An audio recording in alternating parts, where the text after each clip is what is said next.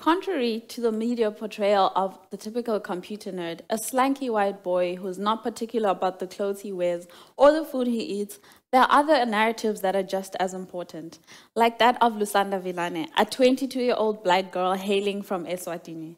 I'm a certified city girl and a proud computer science honor student at the University of Cape Town, the best university in Africa. Contrary again to the typical African's upbringing, rooted in poverty and strenuous living, I had, I had a pretty comfortable childhood. I fell in love with tech through the good old fashioned way that is receptive of black joy and critical of the microaggressions that exist within the tech industry. Let us take a walk down the memory lane of Lusanda Vilane. In 2004, in my grade zero, I had my first encounter with computers. From that day, I decided that computers and French were my favorite classes. French only because it happened in the computer lab. Around the same time, my parents bought our family a personal computer, and I was inseparable from that machine. Any chore that I had to do that could be done near the computer was literally done near the computer, and that included taking care of my younger siblings. Throughout primary school and high school, my love for tech grew with each year. My teachers and parents noticed this passion and supported me tremendously. My parents made sure, made sure to keep our computer software up to date, connect our computer to the internet, and install typing games for me and my siblings to play. I've always had the goal of typing as fast as my father. I'm glad to say I type faster than him now. My teachers also noticed this passion and nudged me and encouraged me to explore everything there was to explore about the tech industry. Through my high school teachers, I met code and immediately fell in love. Throughout this period of my life, I was oblivious to my gender, nationality, race, or personality traits, and especially how they would affect my love for tech. I was not prepared for the change in environment from school to university. First of all, I do not fit the stereotype of what a typical woman in tech looks like, behaves like, or acts like. Apart from tech, I am thoroughly passionate about cooking and fashion. Quite naturally, I care about the way my clothes fit, the way my colors match, and I really like getting my nails done. These personality interests of mine were met with questions and comments from my peers and other people in tech, asking me questions such as, How do you find time to play dress up and code at the same time? Actually, you know, you really don't look like a woman in tech. Are you sure you're a woman in tech? And how, how do you code with those nails? These questions seemed very innocent for me at first. However, the more I encountered them, the question I felt I was being asked was whether my personality and other interests stood in the way of my abilities to pursue my career in Chester Pierce defines microaggressions as sudden, stunning, often automatic, verbal and nonverbal encounters that are put down to the offended by the offenders. In a work setting or university setting, microaggressions are questions and comments aimed at minority groups that antagonize their abilities based on uh, characteristics such as nationality, gender, race, and other characteristics. I had my first brush with microaggressions on the basis of gender in a group setting. In this particular group, I was the only woman in the group. My other group members were male, and they were a mix of white men and black men. During our group discussions and distribution of our group work, I was assigned the role of writing our group report and writing and recording our group meetings. My male counterparts divided the work of coding amongst themselves. When I questioned why I was given this particular role, the answer I received was women write better. However complimentary this sounded, it also insinuated that men made better coders.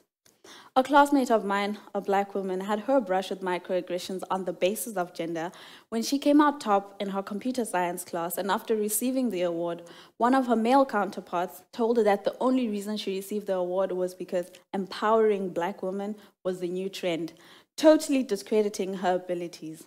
In their research paper about black women in STEM, Ebony McGee and Lydia Bentley state that chronic encounters with microaggressions can lead to battle fatigue, and the battle fatigue can lead to women questioning their commitment to pursuing STEM, STEM major careers. True to this, I started questioning whether I was going to go the long mile in tech and whether the love that I had built for the past 12 years in tech was actually true. At some point, I even considered changing majors. In another group work setting, I was I, I, had my first encounter with microaggressions on the basis of race. In this particular group, I was the only black student, and my other group members were a mix of white men and white women.